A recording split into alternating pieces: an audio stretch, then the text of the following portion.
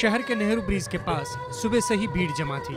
मौका था गुजरात का तिरपनवा स्थापना दिवस का और गुजरात के जनक माने जाने वाले इंदुलाल याग्निक को श्रद्धांजलि देने का। मुख्यमंत्री नरेंद्र मोदी भी पहुँचे मूर्ति पर फूल माला चढ़ाने, लेकिन कांग्रेस पर निशाना साधने से नहीं चुके। इंदु चाचा के नेतृत्व में गुजरात के विद्यार्थियों ने, गुजरात के नौजवानों ने महागुजरात का आंदोलन चलाया।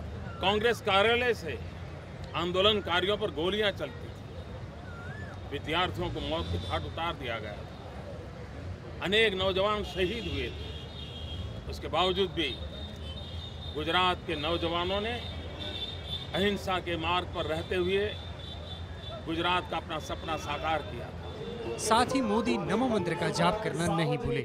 मोदी ने कहा कि गुजरात के विकास में ही देश का विकास है। कि हमने गुजरात को नई ऊंचाइयों पर ले जाने का संकल्प लिया है।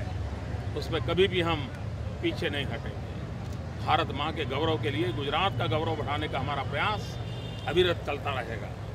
सबका साथ, सबका विकास, यही हमारा मंत्र रहा एक एक नागरिक का साथ हो एक एक नागरिक का विकास हो, सबके साथ लेकर के सबका विकास करने का मंत्र ये मेरी सरकार ने लगातार चलाया आइए, उस संकल्प को लेकर के आगे बढ़ें।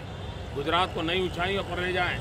विकास के इस दौर में विकास की स्पर्धा में हम गुजरात को भी नई ऊंचाइयों पर लाके प्रस्थापित करेंगे। पूरा कार्यक्रम मुश्किल से 10 मिनट में पूरा कर मोदी गांधीनगर के लिए रवाना हो गए।